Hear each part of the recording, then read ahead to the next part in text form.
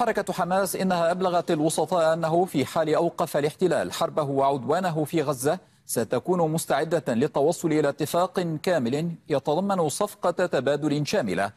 وأكد البيان أن حماس لن تقبل أن تكون جزءا من هذه السياسة باستمرار المفاوضات في ظل عدوان وقتل وحصار وتجويع وإبادة جماعية للشعب الفلسطيني.